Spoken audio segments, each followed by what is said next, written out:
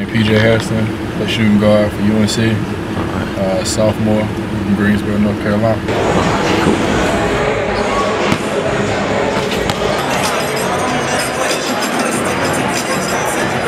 That's one of my major goals is to basically step up and be, be a team player and help and contribute to the team, help us win.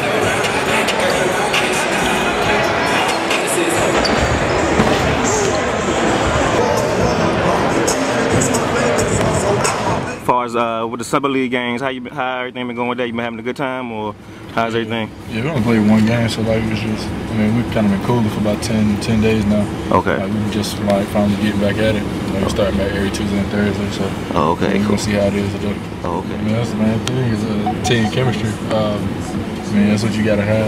You gotta have everybody clicking.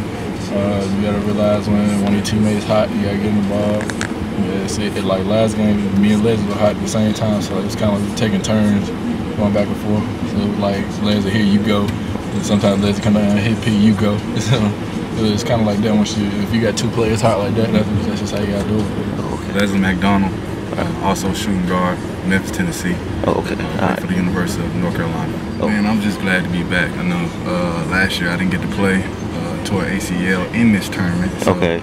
But uh, nah, man, I'm just glad to be back. Uh, I'm glad to play with other players. I'm glad to play with my teammates. So, uh, you know, playing in this, you know, it's, this event is really just gonna help me for uh, the precursor of uh, what the season is. Y'all know who um y'all got playing today? Who y'all got going against Uh, today? I want to say John Walton. I don't know. Okay. Can't remember. All right. Say it don't even matter.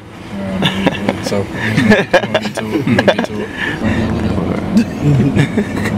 we're gonna get to it. We're gonna get to it. Cool.